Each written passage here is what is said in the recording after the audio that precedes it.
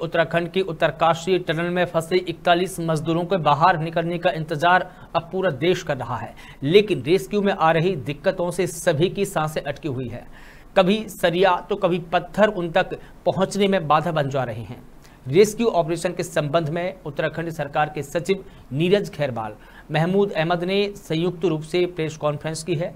इस दौरान उन्होंने कहा कि ऑगर मशीन से पुनः ड्रिलिंग शुरू करते हुए कुल छियालीस दशमलव सात मीटर के अतिरिक्त छः मीटर, इस प्रकार से कुल बावन दशमलव सात मीटर तक की ड्रिलिंग के लिए पाइप वेल्ड किया जा रहा है।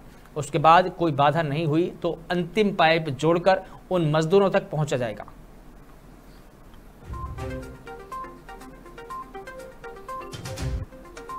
हमारे पास जैसे अब मैं कह रहा था कि कभी हो सकता है अड़चने आ जाए, कुछ बाधाएँ आ जाएँ तो एक पहली बाधाएँ जो हमें सेंस किया हमने, हमारी मशीन ने कोई रुकावट हुई इसको, वो एक गर्डर के तौर पे हमें सामने रास्ते पे ही वो वो हमारे रास्ता, हमारा रास्ता को रोका।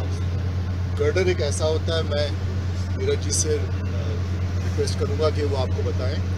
ये डिटेल विजुअल भी आप लोगों को फोटोग्राफ मिल जाएगा जैसे तीन सरिये की स्ट्रक्चर सर सर उठा के देखिए ये देखिए ये जैसे गर्डर है इसको लेटेस्ट गर्डर रिप कहते हैं।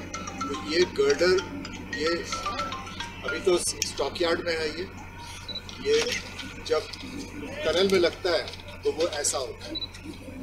और क्योंकि टनल में कोलैप्स हुआ था ये मलबा के साथ ये भी मलबा में कहीं मिला हुआ